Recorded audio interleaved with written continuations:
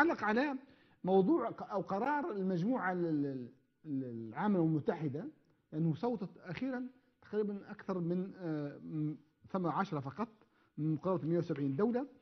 يعني صوتوا لقرار وقف فوري وإنساني للحرب الدمار في غزة. السلطة التونسية الشهر الثاني أو أقل من شهر كانت واخذ تعللت قالت إنه القرار ما يعني يساوي بين الجلاد والضحية وما يعطيش صوره واضحة. وكانت حافظت اليوم رجعت الدولة التونسيه رجعت رجعت صوتت. هذا ارتباك كيف تقرأ تقرأه سي أحمد يعني؟ حالنا الآن والفلسطينيون صدورهم وظهورهم ورؤوسهم وأيديهم وأرجلهم تتعرض للقصف الصهيوني المتواصل كل يوم يعني عيب أنا واحد يستحي أنه يرجع يحكي على وضع وضع الانقلاب في تونس. لو كان جات الناس هذا من ذاك ربما سيدي. نعم لو كان جات الناس حقيقة مستعدة لنصرة الشعب الفلسطيني راه المنقلب يعني تجاوز كل ضغائنه على من يخالفه الرأي وراه قال هذا وقت وحدة وطنية من أجل انتصار للقضية الفلسطينية لكن للأسف هو الآن مشغول بالحملة الانتخابية متاعه ومشغول بالصورة متاعه لا هو لم هو لم ينسى أستاذ أحمد. القضية الفلسطينيه عند التوانسه فهو حريص انه صورته تقعد في الملف هذايا جاذبة للراي العام لأنه هذايا هذه قضية رافعة لمن يحملها. نعم. هو في مصلحته أنه تظهر الدولة متاعه منتصرة للحكومة أو للقضية الفلسطينية. لذلك هو استقبل بعض الجرحى من من من غزة ويسارع باش يتصور معاهم ومع الصغار باش التوانسه يقولوا والله هو رئيسنا منتصر للقضية الفلسطينية. نحن لا نعلم أصلا شنو حجم الدعم اللي بعثوه اللي بعثته الدولة الفلسطينية الدولة التونسية نعم. للفلسطينيين، نحن الفلسطينيين قاعدين يقولوا لنا بعض أصدقائنا راهو مش قاعدة توصلنا. المسالك الرسمية هذه مش قاعدة مش قاعد يوصلنا في دعم من من من أشقائنا العرب.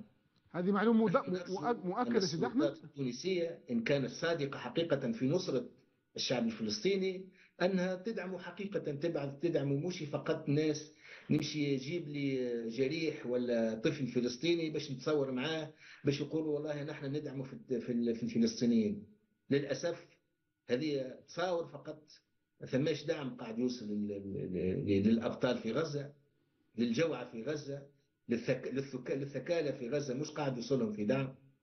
والخيرين من التوانسة اللي قاعدين يدفعوا في فلوسهم معناها للأسف الجهات الرسمية هذه معناها على الأقل يوصلنا أنه راهم مش قاعد يوصلهم. بالطبع يمكن يتعذروا بأنه المسالك الرسمية معطلة ولكنه اللي يحب يعاون سيجد لا شك طريقا للمساعدة. أقلها أنه يستقبل رموز ووجوه المقاومة الحقيقية اللي قاعدة اليوم دافع على الفلسطينيين ودافع على حرية العرب والمسلمين كل العرب والمسلمين. الدائرة الجنائية بالمحكمة العسكرية الدائمة بتونس قضت قبل يوم بسجن القيادية في جبهة الخلاص الوطني شيماء عيسى مدة عام مع تأجيل التنفيذ. ستة شهور من أجل تهمة التحريض وأربع أشهر من أجل إتيان فعل موحش وشهرين من أجل نشر الإشاعات.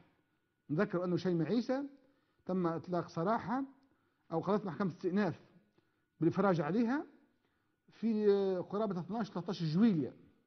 شيماء عيسى الآن محكوم بعام سجن محكمة عسكرية فيما يسمى بقضية التآمر عام الدولة. يعني كيف كيف مرة أخرى في الوقت اللي الشعب التونسي والدولة التونسية تحتاج أن تفتح إيديها لكل معارضيها من أجل أن نكون وحدة صماء في الخطر الذي يهدد يهدد الأمة متاعنا ويهدد إخواننا في فلسطين. كما قلت رأس الدولة السيد قيس سعيد مشغول بحملة انتخابية باش يوصل أكتوبر ويكون الرئيس المفدى والمجاهد الأكبر مرة أخرى والرئيس الأوحد والقاضي الأوحد وال يعني الإعلام الأوحد إلى غير ذلك والمؤول الوحيد للدين وللدستور باش يوصل غاديكا وما يكونش فيه حتى معارض. لأنه إيش معناها أمر موحش؟ شكون الأمر الموحش ما الفصل هذا المرسوم 54 اللي يمنع كل إنسان من أنه يعبر على رأيه. فتوريط مؤسسات الدولة في مثل آه، آه، هذه الملفات هذا معناها مضعف لهذه المؤسسات. توريط المؤسسة العسكرية في محاكمة المدنيين هذا أمر مش مناسب. هذا ضد مصلحة هذه المؤسسات اللي نحن نقدر أنها مؤسسات هي سور البلاد وهي تدافع على حمى البلد. مش نورطوها في معارك مع السياسيين. مناظرين في الحقيقة ما ارتكبوش جرم إلا أنهم عبروا على رأيهم وإلا أنهم يحلموا بتونس خير. بعد عام